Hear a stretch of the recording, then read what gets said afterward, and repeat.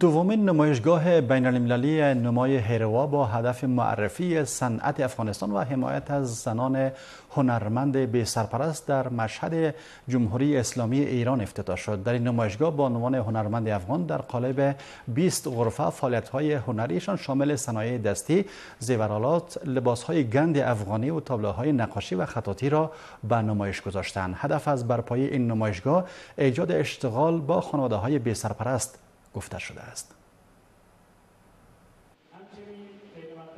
برپایی دومین نمایشگاه بین المللی با هدف معرفی صنعت افغانستان در شهر مشهد جمهوری اسلامی ایران. نمایشگاهی که در آن چهل بانوی هنرمند افغان در 20 غرفه فعالیت های هنریشان را به نمایش گذاشتند. ایجاد اشتغال برای خانواده های بی سرپرست یکی از اهداف برپایی این نمایشگاه خوانده می شود.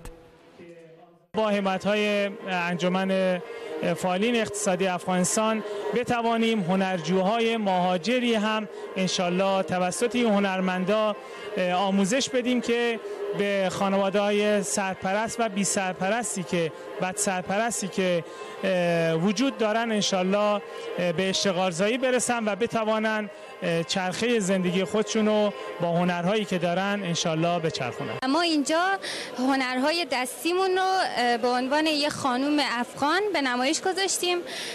صنایع دستی رزینی هستند که دست سازن ایجاد همدلی میان دو ملت با هم برادر ایران و افغانستان از دیگر اهداف برپایی این نمایشگاه است. فعالان فرهنگی می‌گویند ایران و افغانستان یک ملت بوده و در بسیاری از جهات فرهنگ مشترک دارند. در این نمایشگاه همچنین گفته شد زنان نیمی از پیکر جامعه بوده و نقش آنان در فعالیت‌های هنری اقتصادی مهم است. فرهنگ و ارزش ها و سنت های کشور عزیز ما افغانستان به نمایش گذاشته میشه تا انشالله پلی باشه برای همدلی همدلی هرچی بیشتر بین دو ملت ایران و افغانستان. قطعا دو کشور ایران و افغانستان در خیلی جهات با هم مشترکن. از جمله سنت ها و انعناتی که ما داریم آثار و هنرهای تجسمی که خلق شده در دو کشور و همچنین آثاری که امروز ما شاهد اون هستیم نشان دهنده این هست که این دو ملت یک ملت بوده. حضور مردان هم در اقصانقات جریان های فرهنگی اجتماعی ما بی تاثیر نیسته. ولی خب وقتی زنان عریکه کار را به دست می‌گیره قطعا می‌تونه بسیار موثرتر و مندگارتر باشه. با این حال این نمایشگاه به مدت سه روز بر روی بازدید کنندگان باز می باشد اولین دوره این نمایشگاه در شهر هرات برگزار شده بود.